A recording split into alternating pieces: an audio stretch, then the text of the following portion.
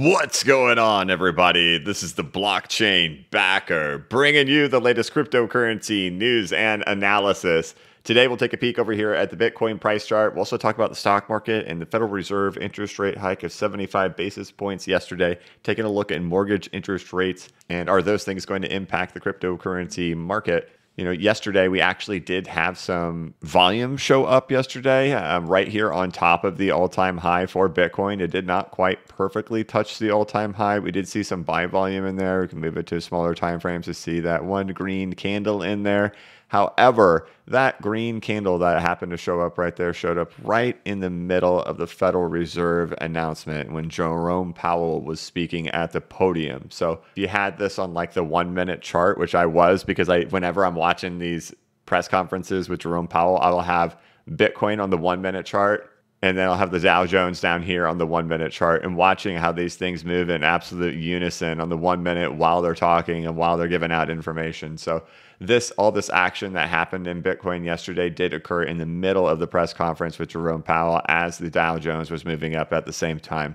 So hard to say that buyers really just kind of showed up there organically and that they thought this price action was a strong buy, but that that price action occurred exactly during that meeting while he was talking, along with the Dow Jones Industrial Average. And as we can see, the market has rolled back over and in pre-market, the Dow Jones Industrial Average is down about 500 points. So it fired up several hundred points, and then into the night it was up 300 points, and it rolled over, going down 800. So now it's it's back at 500. So things are not looking good out there for the stock market and the behavior that's happening with it just rolling over and rolling over and rolling over. Um, and you know, this is one of those things where I do question, you know, are we in a, a much bigger problem in the stock market than just some typical correction that we've seen. So right now, the Dow Jones is down about 18.5%, 18.5 to 19%. Corrections that we've seen, typical corrections before, hey, they can pull down, you know, 16, 17%.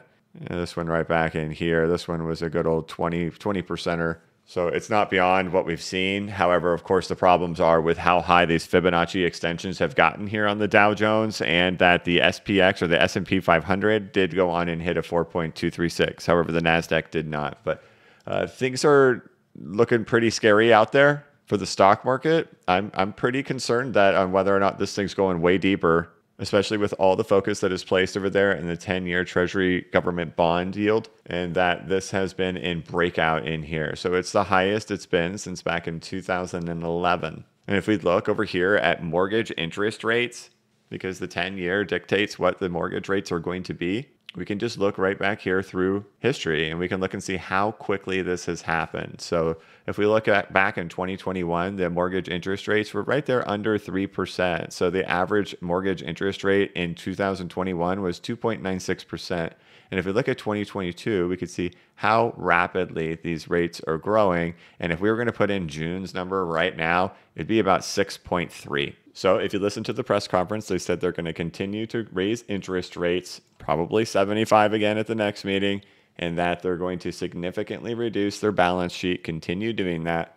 And that what we know last time is in 2018 when the 10 year yield was right here, right at about 3.1% in this area. This is when the Fed, the Fed did pivot and they changed their mind and they made it very clear they're not going to be changing their mind. And while prices were positive after that meeting yesterday, a lot of times those initial reactions end up being the opposite reactions. And today, now that the stock market is open, the Dow Jones is down 770 points. So this is all looking real bad out there for the stock market. We know that translates into crypto throughout history and what we've seen.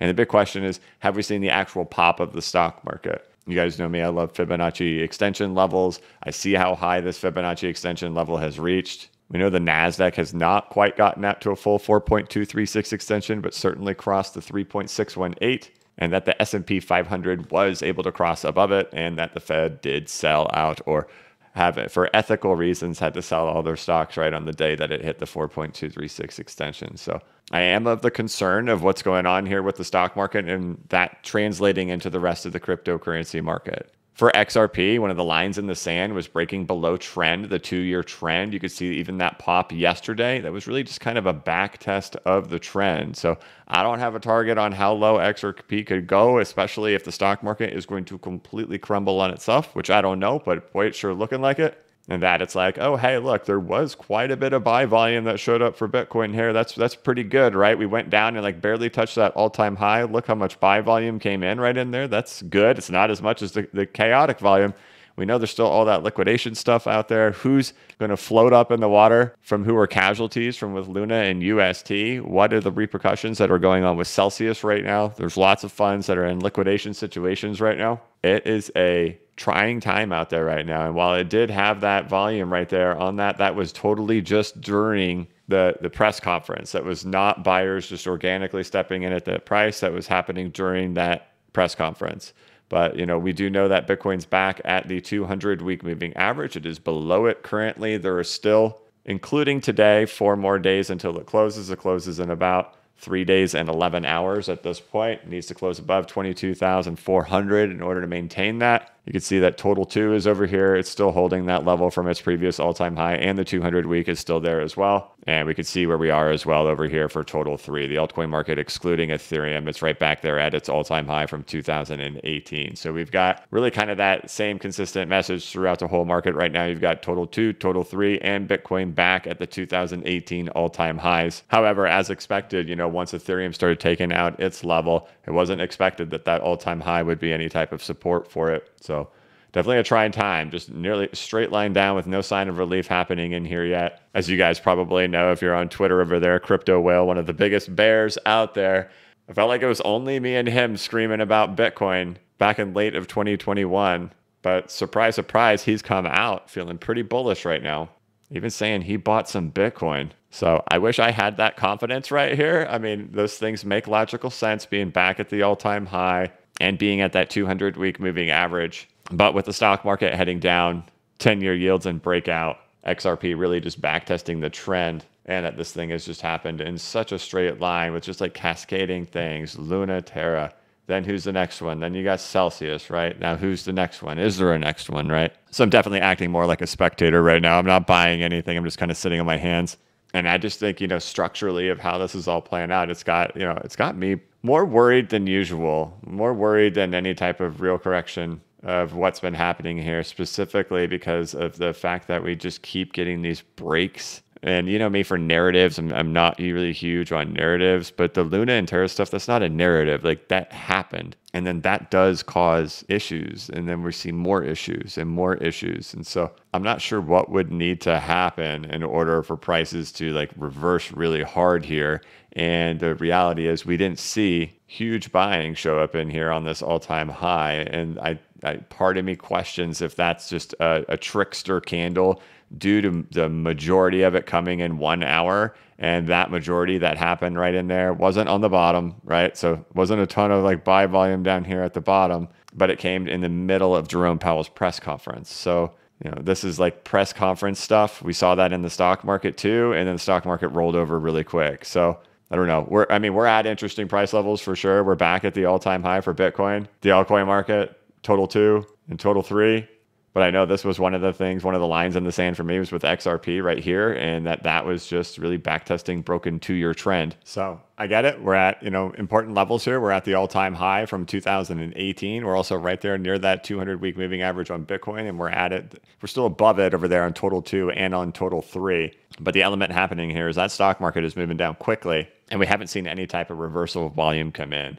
And like I've been pointing to, I've never seen a bubble. The bubbles that I've studied in here where after you have this, right? So you have your double tap, bull flag, breakout, back test, violent back test, V bottom. I haven't seen one before where we come back down below here and that the bubble hasn't been popped. Let alone even getting down this far is more than I've seen in other examples as well. And it's looking more and more likely like it's going to cross there, or at least it's going to get there. And even in that circumstance, I haven't seen it where it gets back there and it hasn't popped. So there's legitimate concerns here that the stock market has also popped. And so the Dow Jones, it's only 374 points from getting to that level to where it's like uh, every time I've seen this, the bubble has popped. So that's what does have me con- concerned over there for the stock market. What has been interesting though is that even through all of this, the euro has still been able to maintain that low that it set back there in middle in the middle of May, even with the DXY setting a new high in here and this is a 20 year, 21 year fall and roll back up for the DXY now approaching back to its 702 retracement in here. Um, in that, even with the DXY setting these new highs, the euro has still maintained these lows somehow. And we, we've looked at that before. So who comes up being the winner? Like, you know, if, if the euro ends up bouncing and the DXY ends up falling, and then the stock market keeps falling, right? It's kind of like, well, who who ends up being the winner there? Because DXY falling, euro rising, that's typically good for cryptocurrency.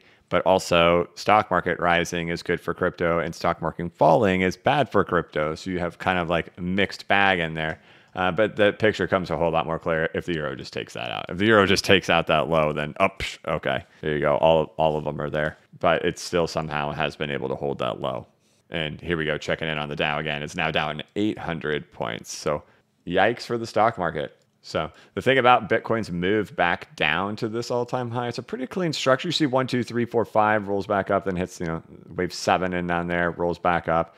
Um, typically these are okay, but we need to see like if there's volume coming in in here and people are actually ended up buying Bitcoin here on the support level. There's more volume than usual down here, but not exceptional, insane volumes, right? And again, that that candle that came in there during Jerome Powell's press conference was a, a pretty doozy one in there on the daily time frame, 15 minute, four hour, one hour, all over the place. That candle really makes itself apparent, but we need more than that. So for me to start getting a little bit more optimistic, I, you know, a lot of things need to happen right now. All things are looking pretty rough. The the hardest part about a lot of it is you can see where we are where we are, right? I mean, that's a, a big moment for Bitcoin and a big moment for the altcoin market. I'd love to come on here and be positive and say, hey, look, you know, we're on top of the all-time high. This is a great thing, right? Historically, that's what you want to see. That's what we want. And look back to 2014, 15, 16, 17. Hey, what was this, right? all time high, big old big old hit back on the all time high. And then what happened? Rampaging altcoin market after backtesting the all time high in there, right? So hey, is it unusual to backtest the all time high after taking you know four years? No, I mean that that's what happens. And then we saw this thing just go absolutely insane. So unusual for Bitcoin to come back and hit the all time high? No, not unusual. But we've gone through so much of it of how much we follow this stock market, and this stock market is not showing signs of uh, ready to turn up and go on a rampage run just of yet. And so we'll kind of see what happens here in the coming days. Today's Thursday, so tomorrow will be Friday. We'll see if we end up taking that level out by tomorrow or if Bitcoin can bring in some high buy volume. But it's a conflicting time. I'd love to come on here and be hardcore one way or hardcore the other way. The, the reality is there's so many negative elements out there whether that's USDT not being pegged to a dollar, whether that's Terra Luna fallout, whether that's Celsius fallout, whether that's hedge funds getting knocked out or big whales getting liquidated, DeFi. I mean, you could just build this huge case of all the negative elements in the market. And then, you know, not only that, but chart issues too, right? With a higher DXY, trend breaks on Bitcoin, trend breaks on XRP. There's a lot of negative things. So if we want to see positive things, it's just going to have to show itself in the market because right now it's not showing it.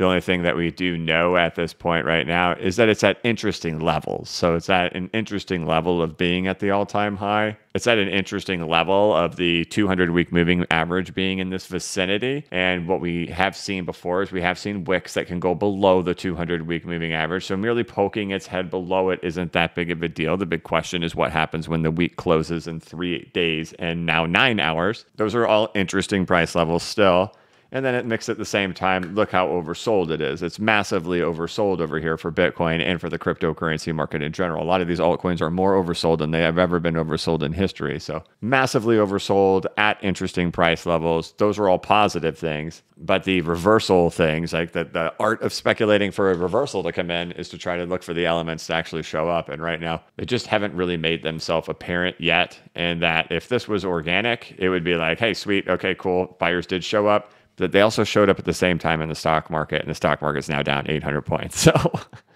yeah. Surprisingly, though, Bitcoin has held, and the stock market has rolled over big time. So somehow, you know, even though we're red today, like if you didn't notice when we closed the day yesterday, we actually closed pretty green. The market closed real green. So late afternoon rally, kind of the market was red all day, and then late afternoon rally, and it closed green, and then now it's back to being red. But hey, it's still holding really want to see reversal volume come in here before I can get optimistic. Otherwise, like looking at other signals in the market like XRP, that looks like that was just a trend back test. So definitely nothing in the clear.